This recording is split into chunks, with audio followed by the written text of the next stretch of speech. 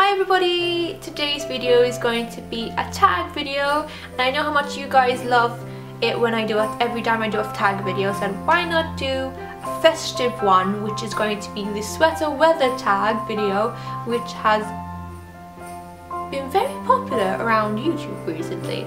So since we are in December, I thought why not put on my festive jump, uh, jumper, which is this gorgeous, let me stand up, um, little Primark one that I think everyone's kind of got. I think everyone's ha everyone has to get one of these jumpers from Primark. They're so cute, it's so festive. I think the snowman's really cute with the little nose and let's just get into the question for the sweater weather tag which I have ooh, skip, which I have on my phone so let's start off with the first one which is my favorite candle scent at the moment and with, I think I actually mentioned this in one of my previous videos and it is the Yankee Candle Christmas cookie one and it just smells amazing it smells like Christmas cookies, baking, vanilla, and it just makes me want to go and make some cookies right now. Okay, next question is coffee, tea or hot chocolate? I think everyone's gonna laugh when I say neither one of them. Um, I don't drink any hot drinks, I can't stand them. And to this very day my mom still tries to encourage me to drink hot drinks when it's freezing cold. And yet I still have ice cubes in the freezer. I still drink everything from the fridge. I just can't stand anything warm or fuzzy and icky. And at this moment in time whenever it's like this kind of winter season I go for milkshakes. So at the moment I have banana flavour and strawberry flavour. So I never get high on caffeine if anyone's asking or anyone's wondering. So that's, that's my life. I don't drink any hot drinks. Okay, number three. What's your what's the best fall memory you have? Actually, I think it was last year when I first saw snow. Um, I actually came out three three times last year. I came out three times to London-ish last year. I came one time in April, um, which was my first time, my second time in London. I came with my best friend, and then I came again in December, which was um, last minute thing. Two days before we were flying out, we just booked tickets and came up and it was the first time I saw snow. It was, um, so we were here twice. We came in, like, we came for two weeks, went home for, for, went home for a week and came up again for two weeks. And so literally I was here for about a month, which was amazing. And we got to see snow. My sister was here as well, so but she was up in Nottingham, so it was really nice to be both away at the same time and experience the snow together and no words can describe how the Maltese Islands don't have snow but thankfully whenever you go away you actually get to see some snow and it's freezing cold and I actually like snow flights but I don't, I don't like it when people throw snow things at you, it's horrible. But it's my favourite fall memory that I think I'm going to cherish because I always wanted to pee in snow. I've always wanted to make a snowman and the fact that I was here for, for the snow last year was amazing and I really can't wait to be here again for the snowstorm. Sorry, but I just can't wait. I'm just really looking forward to it again. So everyone's saying that the snow is coming and it's coming our way and I'm just really looking forward to it. So let's go on to the next question, yeah? Okay, so the next question is, which makeup trend do you prefer, dark lips or winged liner? I'm gonna laugh at this question because I wear both. As you can see, I always wear winged liner and come fall, I go for dark lips, I go for the purples, I go for the reds, I go for the dark plums. I do everything. Um, there's no liking, there's no preferring, I just like both. So that was an easy one. Okay, go on to the next one very quickly. Um, best fragrance for fall is, and that is Chloe Okay, this is my little version of the Chloe perfume because I actually first got the actual Chloe perfume, when was it? Um, I think it was 2011 and I remember when I went and purchased it she actually gave a mini version for my handbag because she's I just got on with the um, person that worked there so so well that she even gave me a really small one, was like a really festive one. And this worked out to be about 9 euros if you actually put that in respect of how much the 30 mils actually cost. It was about 53 euros, which I thought was a bit expensive, but I still got it and until this very day, I'd always say that was my staple fragrance and my signature fragrance and I'm dying to get it again. Next question is favorite Thanksgiving, ooh, favorite Thanksgiving food. Now we don't do, I think people do celebrate Thanksgiving in America. I think some people do here in the UK, but obviously I don't. But I can say favorite Christmas food, I guess. And um, back home, my dad uh, always used to cook um, the small sausages with bacon around them, wrapped around them. I to love them.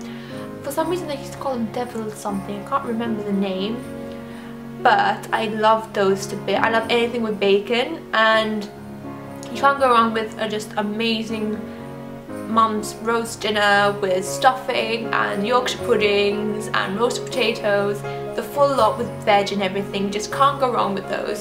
So I'm probably gonna say that's my favourite um, Christmas food instead of Thanksgiving. Okay, so next up is what is awesome weather like where you live? Well, here in the UK, what I'm actually witnessing right now is you get sun, you get cold, you get frosty kind of weather. It's very weird. People are saying me, oh, you're gonna go to rain, you're gonna go to horrible weather. How can you live in the UK when you've obviously come from a really nice hot place?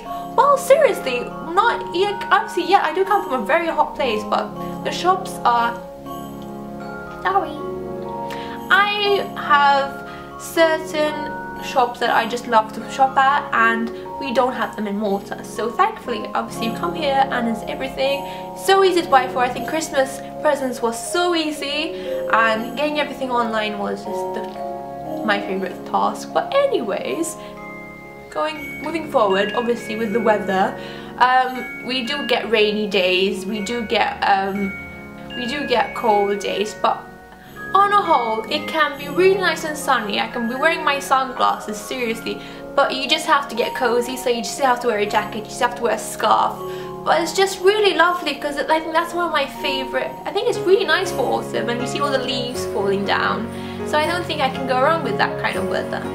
Okay, next one is most worn sweater, which I'm going to get right now.